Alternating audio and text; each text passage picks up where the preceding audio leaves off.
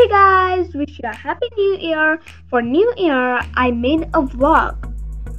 So, here for new year, uh, we did a, a party. I had all of my cousins. Then we played some games. That was pillow passing.